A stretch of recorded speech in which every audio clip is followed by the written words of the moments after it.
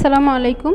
Welcome to online class organised by Golam Mustafa model college dear students how are you I am Arjumanara Setu lecturer in English let's start our class what are you seeing in the picture yes this is some blank chart তোমাদের মনে আছে last ক্লাসে বলেছিলাম যে কিছুক্ষণ পরবর্তী ক্লাসে আমরা ফ্লোচার সম্পর্কে আলোচনা করব। তোমাদের এবার ফ্লোচারটা সম্পূর্ণ নতুন সিলেবাসে অন্তর্ভুক্ত। হ্যাঁ আজ our today's topics is flowchart after finishing the lesson you will be able to say the definition of flowchart right a flowchart describe the mostly used methods prepare different types of flowchart প্রথমে আসো ফ্লোচার্টটা কি, সেটা আমরা জেনে নেই। তোমরা ছবিটিতে দেখতেই পাচ্ছ কতগুলো বক্স, ঘর কাটা আছে এবং কিছু তীর চিহ্ন দিয়ে সেটাই দেখিয়ে দেওয়া আছে। এটা এখানে নিচে নিচে লিখেছি, কোনোটা আবার পাশাপাশিও থাকতে পারে, বিভিন্ন রকমের ফ্লোচার হতে পারে। In English a flowchart is a type of diagram that represents a work flow or process a flowchart can be defined as a step by step approach to solving a task The flowchart shows the steps as boxes of various kinds and their order by connecting the boxes with arrows. এই কথাগুলো অবশ্যই তুমি তোমার খাতায় note করে নিবে যে একটি ফ্লোচার্ট কি হচ্ছে? এক ধরনের ডায়াগ্রাম বা চিত্রের মতো যা তোমাকে প্রদর্শন করে কি? কাজের প্রবাহটা তোমাকে প্রদর্শন করবে যে আমি স্টেপ বাই স্টেপ এটার পরে এই কাজটা করব বা এই কাজটা করব। তুমি ভবিষ্যৎ পরিকল্পনা এভাবে ফ্লো চার্টের মাধ্যমে করতে পারো বা অতীতের কাজটাও স্টেপ বাই স্টেপ এই চার্টের মাধ্যমে প্রকাশ করে সম্ভব। এরপরে দেখো a flow chart can be defined as a step by step approach to solving a task যে কোনো একটা কাজ সমাধানের ধাপে ধাপে যে প্রক্রিয়াটা, সেটাই ফ্লোচার্টের মাধ্যমে প্রকাশ করা হয়। তুমি ফ্লোচার্ট লিখছে কেউ যদি তোমাকে জিজ্ঞেস করে যে ফ্লোচার্ট কী ফ্লোচার্ট কাকে বলে, তাহলে তুমি এইভাবে তাকে উত্তর দিতে পারবে। এবং আরেকটা জিনিস খেয়াল করবে যে ফ্লোচার্টে অবশ্যই তীর চিহ্ন দিয়ে জিনিসটা লিখতে হবে? কোন ধাপটার পর কোন ধাপটা অনুসরণ করা হবে? এরপরে খেয়াল করো পয়েন্টস টু বি ফলোড যেই কথাগুলো তোমাকে একটা ফ্লোচার্ট লেখার সময় অবশ্যই মনে রাখতে হবে। Number one you should choose the objectives of a flowchart তুমি কি কি উদ্দেশ্যটা নিয়ে, কি লক্ষ্য নিয়ে ফ্লোচার্টটা লিখছো মানে তোমার প্রশ্নে কি জানতে চেয়েছে, সেই অনুযায়ী তুমি সেটাকে আগে মনে মনে ঠিক করে নিবে যে এই এই জিনিসটা আমাকে ফ্লোচার্টে লিখতে হবে। Number two decide on the start and end points তুমি আগে সিদ্ধান্ত নেবে কোন পয়েন্টটা আমি প্রথমে লিখব এবং কোনটা শেষে লিখব। তিন ডোন্ট রাইট ফুল সেন্টেন্স কখনোই ফ্লোচার্টে খেয়াল রাখবে, কখনোই ফ্লোচার্টে সম্পূর্ণ সেন্টেন্স বা বাক্যটি লেখা যাবে না। ডোন্ট রাইট সাবজেক্ট ফ্লোচার্টে সাধারণত দু একটা ব্যতিক্রম নিয়ম ছাড়া সাবজেক্ট লিখতে হয় না, অতএব তুমি লিখবে না। ডোন্ট ইউজ ফুল স্টপ আচ্ছা এখানে গুরুত্বপূর্ণ যে কথাটা, সেটা হচ্ছে এটা একটা ফ্লো চার্ট এই কাজটার পর আমি এই কাজটা করব, এই কাজটার পর এই কাজটা করব। তাই তুমি ফ্লো চার্টে কোনো ফুল স্টপ ব্যবহার করবে না। মানে ফ্লো চার্ট যখন তুমি লিখবে পরীক্ষার খাতায়, তখন তোমাকে অবশ্যই বক্স বক্স করে ছবি এঁকে নেবে, তার ভিতরে তোমার পয়েন্টগুলো লিখবে এবং তীর চিহ্ন দিয়ে দেখিয়ে দেবে। তুমি জানো, আগে রূপ বিচারি পরে গুণ বিচারি তাহলে আগে তোমার খাতার প্রেজেন্টেশনটা জানি খুব সুন্দর হয়। এই জন্য তুমি সুন্দরভাবে বক্স করে কথাগুলো লিখবে এবং তীরচিহ্ন দিবে। যদি তুমি কোনো বক্স না আঁকো, তাহলে কিন্তু কোনো নাম্বার পাওয়া যাবে না। শুধু পাঁচটা উত্তর তুলে দিলে, তাহলে কোনো নাম্বারই পাবে না। অতএব বক্স করতে হবে তীরচিহ্ন দিতে হবে। এইভাবে ফ্লোচার্ট তোমাকে খাতায় লিখতে হবে এবং ওই বক্সের ভিতরে লাইনগুলোতে তুমি কোনো ফুল স্টপ দিবে না। একবারে শেষেরটায় তুমি দিতেও পারো, নাও দিতে পারো। কিন্তু প্রথম থেকে যে পাঁচ নং পর্যন্ত যেগুলো লিখবে, সেগুলোতে ফুল স্টপ ব্যবহার করবে না। এবার আসো, কী কী পদ্ধতিতে তুমি ফ্লোচার্টে কথাগুলো লিখতে পারো? অনেক ছাত্রছাত্রীরাই খুব কনফিউশনে থাকে যে ম্যাম কীভাবে লিখব? এখন আমি তোমাকে কতগুলো বহুল ব্যবহৃত পদ্ধতির কথা বলব এবং তোমার পরীক্ষার প্রশ্নে প্রথম বক্সে যেটা করা থাকবে, সেই অনুযায়ী তুমি বাকি বক্সের কথাগুলো ফিল করার চেষ্টা করবে।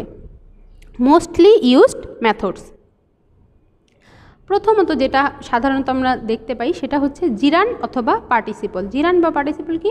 ভার্বের সাথে আইএনজি যুক্ত করে বাকি অংশটুকু লিখতে হবে। যেমন ভার প্লাস আইএনজি, এই নিয়মটা হচ্ছে verb plus ING plus extension. মানে তুমি যেই লাইনটা সিলেক্ট করছ যে এখান থেকে কিছুটা কথা আমি লিখব, সেখানে ভার্বটা নিয়ে ভার্বের সাথে প্রেজেন্ট ফর্মের সাথে আইএনজি যুক্ত করে ভার্বের base form plus ING plus extension. বাকি যেতটুকু সেইটুকু লিখবে।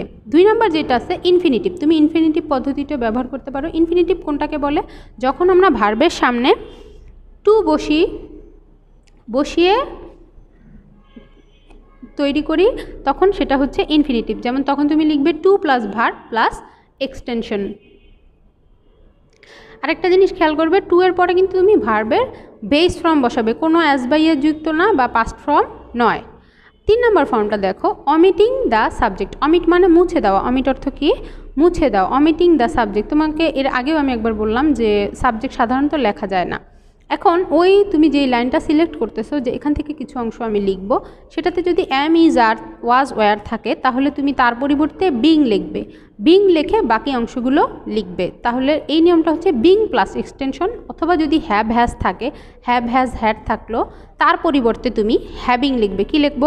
হ্যাবিং লিখবে। হ্যাবিং প্লাস এক্সটেনশন অর্থাৎ বাকি অংশটুকু তুমি লিখে দিবে। এছাড়া ফ্লোচার্ট করার আরেকটি বহুল প্রচলিত পদ্ধতি আছে, যেমন সিঙ্গেল ওয়ার্ডগুলো ব্যবহার করে অনেক সময় যেমন কোনো কিছু ছয়টা বৈশিষ্ট্য বলতে, লিখতে বলল তোমাকে যে এই জিনিসটা, ছয়টা বৈশিষ্ট্য লেখো, যা তুমি সিঙ্গেল ওয়ার্ড ব্যবহার করে লিখতে পারো যে ট্রুথফুল পায়াস তো তখন অনেক সময় এইটা সিঙ্গেল ওয়ার্ড ব্যবহার করেও করা হয়ে থাকে। ফাইভ দেখো ডিফারেন্ট ফর্ম অফ ভার্ব যেমন ওই ফ্লোচার্টার প্রথমে ভার্ব দিয়ে তোমার লাইনটা শুরু হতে পারে, যেমন ভার্বের বেস ফর্ম হতে পারে ভার্বের প্রেজেন্ট ফর্ম হতে পারে। পাস্ট ফর্ম হতে পারে past participle form plus extension দিয়েও ফ্লোচার্ট তৈরি করা যেতে পারে। ছয় নম্বর নিয়মটা দেখো preposition plus gerund preposition plus gerund অর্থাৎ যেমন বাই অথবা ফর অথবা উইথাউট দিয়ে তারপরে ভার্বের base form plus ING plus extension এভাবেও লাইনটা গঠন করা যেতে পারে। এই যে নিয়মটা লিখলাম, এটা তুমি অবশ্যই খাতায় তুলে রাখবে। যখন তুমি প্র্যাকটিস করতে যাবে, তখনই তুমি প্র্যাকটিসের সাথে মিল করলেই দেখবে যেগুলো সহজভাবে তুমি পারছ। এবার আসো, প্রশ্নটা তোমার কীরকম থাকবে? একটা যখন ফ্লোচার্ট করতে গেলে তোমার প্রশ্নটা কীরকম থাকবে? Read the above text and make a flowchart make a flowchart showing the activities and achievements of Nelson Mandela one is done for you এখানে খেয়াল করো, গতদিন আমরা তোমাদেরকে কোন প্যাসেজটা পড়িয়েছিলাম? নেনসল ম্যান্ডেলার পুরোটা কিন্তু পড়ানো হয়নি, তাই না? যেতটুকু পড়াইছিলাম, সেখান থেকেই ধরো আমার একটা মডেল কোশ্চেন আসলো এবং সেখান থেকে একটি ফ্লো চার্ট আমাকে লিখতে দেয়া হলো। যে নেলসন ম্যান্ডেলার এখানেই দেখো, ওই প্যাসেজটার ভিতরে আমরা অনেক কিছুই পড়েছিলাম, কিন্তু প্রশ্নে তোমাকে যে কোনো একটা বা দুইটা জিনিস সম্পর্কে লিখতে বলবে। আমাদের এই প্রশ্নটা কি লিখতে বলছে? Read the above text and make a flow chart showing the activities and achievements of Nelson Mandela Nelson ম্যান্ডেলার অ্যাক্টিভিটি কার্যক্রম এবং অর্জনগুলো সম্পর্কে তোমাকে লিখতে বলেছে এবং একটা তোমার জন্য পরীক্ষার প্রশ্নে করে দেওয়া আছে। এবার পুরো প্যাসেজটা সহ দেখো। ওই যে প্যাসেজের উপরে ছোট করে দেখতে পাচ্ছ যে এভাবে তোমার প্রশ্নটা লেখা থাকবে, তারপরে তোমাকে প্যাসেজটা দেয়া থাকবে এবং নিচে দেখো এই যে একটা করে দিছে, করে দিয়ে তোমাকে দুই, তিন, চার, পাঁচ, ছয় বক্সগুলো খালি রেখে দিছে, তোমাকে এটা সলভ করতে হবে। পরীক্ষার খাতায় তুমি যেটা দেওয়া আছে সেটা সহও লিখতে পারো বা বাকি দুটো, বাকি যে পাঁচটা আছে সেটাও লিখতে পারো। এবার দেখো অ্যান্সারে চলে যাও। এবার দেখো আমাদের ফ্লোচারটা পরীক্ষায় কত নঙে আসবে? কোশ্চেন নং টুয়ে আসবে। যখন আমি একটু আগে প্রশ্নটা তোমাকে বলেছিলাম, আমাদের প্রশ্ন বলেছে নেলসন ম্যান্ডেলার অ্যাক্টিভিটি এবং অ্যাচিভমেন্ট সম্পর্কে লিখতে। আমাদের গত ক্লাসটা নিশ্চয়ই তোমার মনে আছে যে নেলসন ম্যান্ডেলা কি কি কাজ করেছিলেন এবং তিনি কি কি মানুষের কাছ থেকে সম্মান, ভালোবাসা এবং কি কি পুরস্কার পেয়েছিলেন? ধরো, আমরা যেই প্রশ্নটাতে ছিলাম, প্রশ্নটাতে তোমার শোয়িং লেখা থাকবে এবং ওই শোয়িংয়ের পর থেকে যে অংশটুকু লেখা থাকবে সেইটুকু, এই যে খেয়াল করো, এটা আমি প্রশ্নের উপরে লিখেছি। A flowchart showing the activities and achievements of Nelson Mandela is given below মানে শোয়িংয়ের পর আমার মূল প্রশ্নটা থাকবে, কি করতে তোমাকে কোন অংশটুকুর উপরে ফ্লোচার্ট করতে হবে? ধরো সেটা আমি এখানে লিখে নিলাম। এই লাইনটা তুমি লিখতেও পারো, না লিখলেও চলবে। লিখলে সুন্দর হয় যে এ ফ্লোচার শোয়িং শোয়িং বা মেনশনিং এই ওয়ার্ডটার পরেই মূলত তোমার প্রশ্নটা থাকবে। Showing the activities and achievements of Nelson Mandela is given below তারপরে আমি পরীক্ষার খাতায় তুমি ঠিক এইভাবে ছয়টি বক্স করবে, করে এক নং যেটা লেখা থাকবে প্রশ্নে সেটা লিখবে, তারপরে বাকিগুলো তুমি ফিল করবে। দেখো প্রশ্নে আমাদের লেখা ছিল guided South Africa from the shackles of apartheid to multiracial democracy মনে আছে আমাদের যে নেলসন ম্যান্ডেলা কী করেছিল? বহু জাতির গণতন্ত্রে রূপান্তর করেছিল কি থেকে? শ্যাকেলস অফ অ্যাপেথাইট বর্ণ বৈষম্যের শিকল থেকে সাউথ আফ্রিকাকে বহু জাতি গণতন্ত্রের দিকে রূপান্তর করেছিল। তাহলে দেখো, ওনারা কীভাবে শুরু করেছে? গাইডেড দিয়ে। কি দিয়ে শুরু করেছে?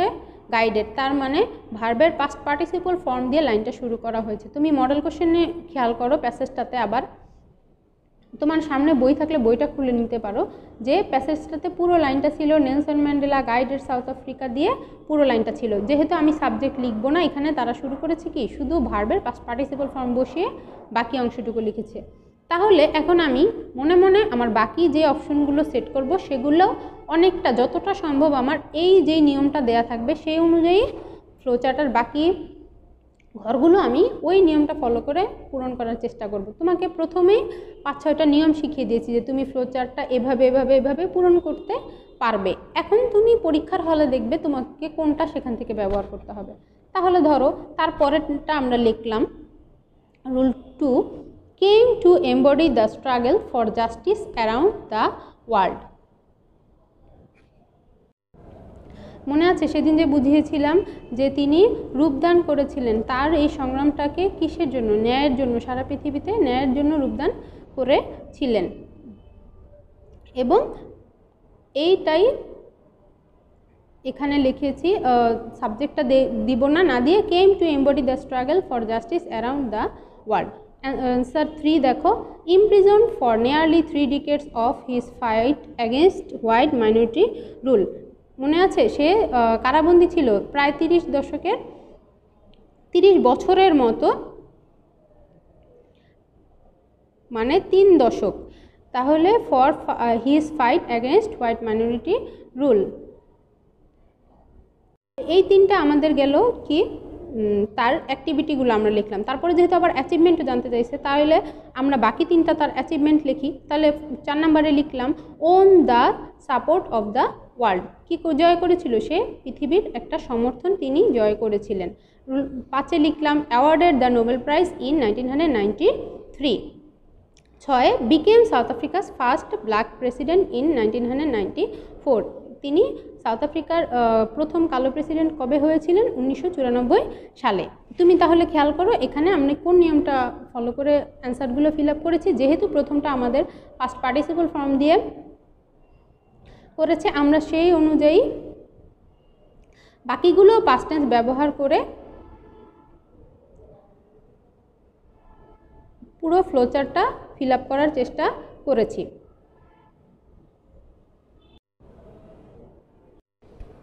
এভাবেই তুমি প্রশ্নের প্রথম যে অপশনটা দেয়া থাকবে সেটা খেয়াল করে তুমি কীভাবে বাকি ফ্লোচারগুলো ফিল আপ করবে, তা চিন্তা করবে। তুমি প্রথমটা যদি ইনফিনিটিভ দেয়া থাকে তাহলে বাকিগুলো ইনফিনিটিভ দিয়ে পরিপূর্ণ করার চেষ্টা করবে। এভাবে তুমি যেভাবে কতগুলো যদি তুমি বিভিন্ন মডেল কোশ্চেন থেকে প্র্যাকটিস করো তাহলে ইনশাল্লাহ ফ্লোচার পূরণ করতে সক্ষম হবে। ইনশাল্লাহ আমরা ভবিষ্যতে আরও বিভিন্ন ফ্লোচার্ট নিয়ে আলোচনা করব।